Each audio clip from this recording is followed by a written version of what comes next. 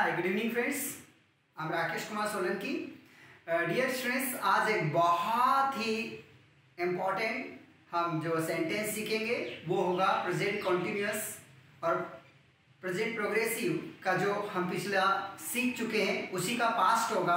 Past progressive या past continuous इस तरह के वाक्यों के अंत में रहा था, रही थी, रहे थे, आदि आते हैं। इस तरह के वाक्यों को बनाने के लिए हम आई ही शी इट और नेम इन सब के साथ was plus I N G का उपयोग करेंगे। आई ध्यान रखिएगा I he she it name इनके साथ हम was plus I N G का उपयोग करेंगे। रहा था, रही थी, रहे थे के लिए। जबकि यू वी दे के साथ वर प्लस आई एन जी का उपयोग करेंगे रहे, थे के वाक्यों के लिए। डियर स्टूडेंट्स जैसा कि मैंने कहा कि ऐसे काम जिसके लास्ट में रहा था, रही थी, रहे थे। आई ही शीट नेम के साथ was plus I G you we they के साथ वर प्लस आई का उपयोग करेंगे। ठीक है प्रैक्टिस स्टार्ट करते हैं। जो काम मैं कर रहा था, पहले जो काम मेरा लगातार जारी था, उसी काम को बताने के लिए मैं आई के साथ वॉच प्लस आई लगाऊँगा जैसे कि मैं तैयार हो रहा था। I was getting ready get ready मतलब तैयार होना। मैं लेट हो रहा था। आई वॉज़ गेटिंग लेट मैं सोच रहा था। आई वॉज़ थिंकिंग मैं प्रैक्टिस कर रहा था। आई वॉज़ प्रैक्टिसिंग मैं यूट्यूब चैनल चला रहा था। I was running YouTube channel मैं इंतज़ार कर रहा था। आई वॉच वेटिंग मैं तुम्हारा इंतज़ार कर रहा था।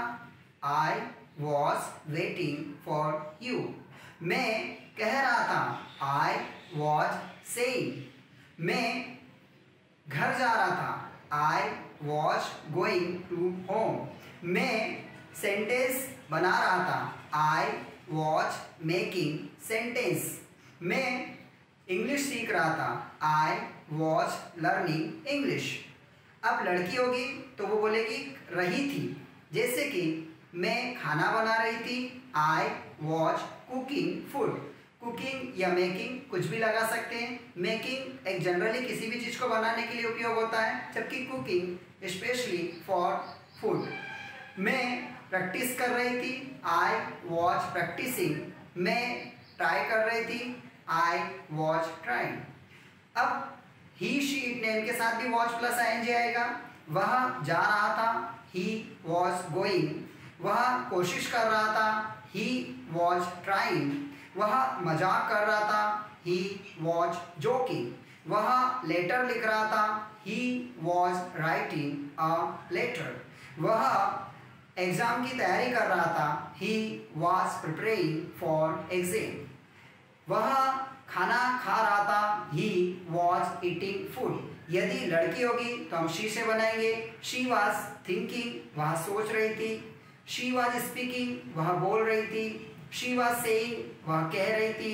शी वॉज़ मॉपिंग वह पोछा लगा रही थी। शी वॉज़ वॉशिंग क्लॉथ्स वह कपड़े धो रही थी। शी वॉज़ मेकिंग चपाती, वह चपाती बना रही थी। She was going to school वह स्कूल जा रही थी। She was preparing for exam वह एग्ज़ाम की तैयारी कर रही थी। She was looking after her children her children यानी उसके बच्चे, वह उसके बच्चों का देखभाल कर रही थी। लुक आफ्टर यानी देखभाल करना।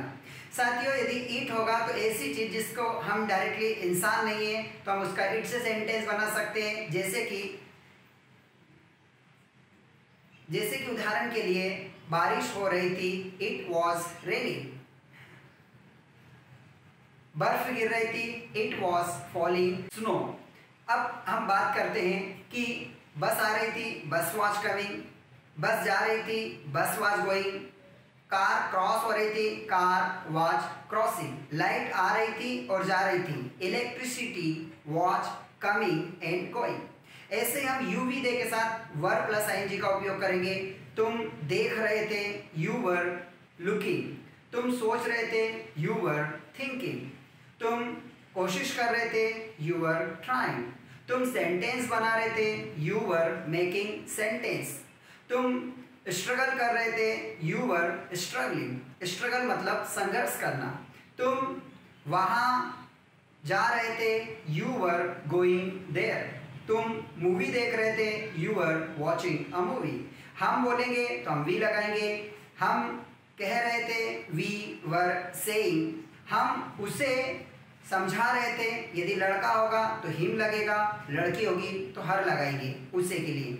वी वर एक्सप्लेनिंग हिम लड़की होगी तो वी वर एक्सप्लेनिंग हर हम बता रहे थे वी वर टेलिंग और हम दिखा रहे थे वी वर शोविंग वे मतलब दे, वे गाली दे रहे थे दे वर एब्यूजिंग वे सोच रहे थे, दे वर थिंकिंग वे नहा रहे थे, दे वर बाथिंग वे इंतज़ार कर रहे थे, दे वर वेटिंग साथियों, कोई भी कुछ कर रहा था, आई ही शीट नेम के साथ वॉच प्लस आई लगाएँगे और यू भी दे के साथ वर प्लस आई लगाएँगे. आप प्रैक्टिस करेंगे, फिर बहुत अच्छे से आप बोल पाएँगे. Thank you so much